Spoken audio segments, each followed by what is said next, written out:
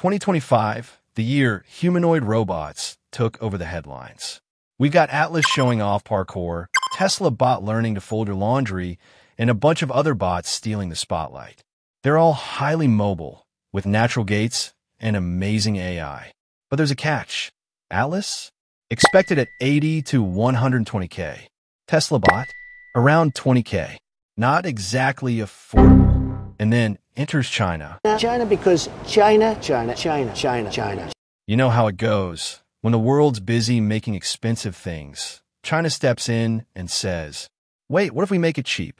Meet Unitree R1, a humanoid robot for under $6,000. Yep, you heard that right. Is it revolutionary?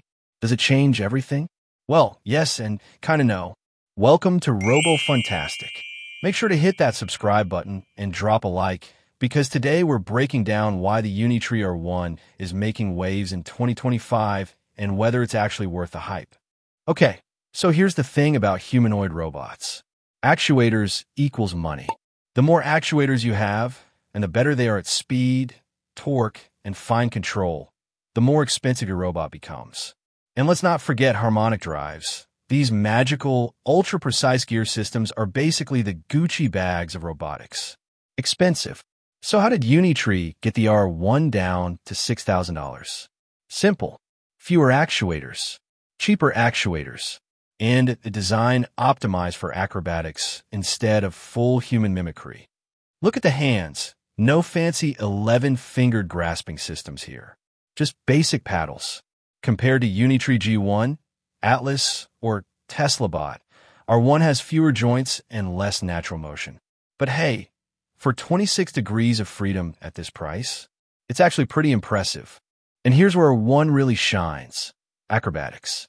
This little guy can sprint, cartwheel, handstand, and even shadowbox. The first demo video looked so insane that people online were like, wait, is this CGI? Nope, it's real. R1 is built as a sports robot, a platform to showcase dynamic movement, not a household butler. It's also lightweight, around 25 kilograms and 121 centimeters tall, which makes all those flips a lot safer for both you and your furniture. Here's a quick spec rundown. 26 degrees of freedom, 6 per leg, 5 per arm, 2 in the waist, 2 in the head. Swappable 1-hour battery. Onboard AI with voice and image recognition. 8-core CPU with an optional NVIDIA Jetson Orin for extra AI power.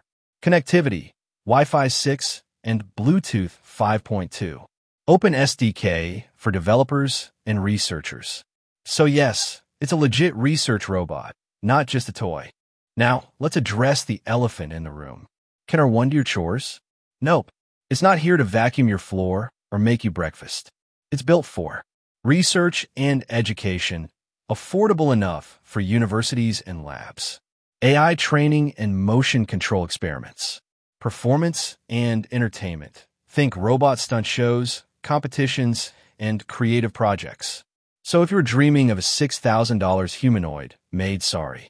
Not yet. Here's the deal.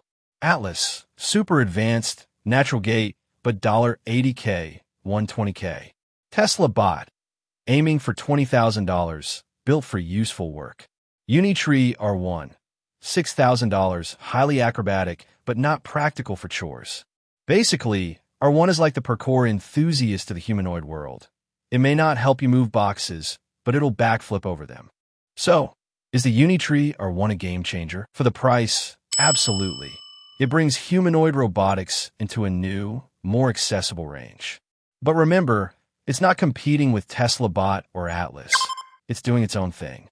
If you want a humanoid that can cartwheel, dance, and maybe impress your friends at a party, R1 might just be your bot. So what do you think? Would you buy a $6,000 humanoid sports robot? Drop your thoughts in the comments below. And don't forget to like and subscribe to Robo Funtastic for more fun tech deep dives.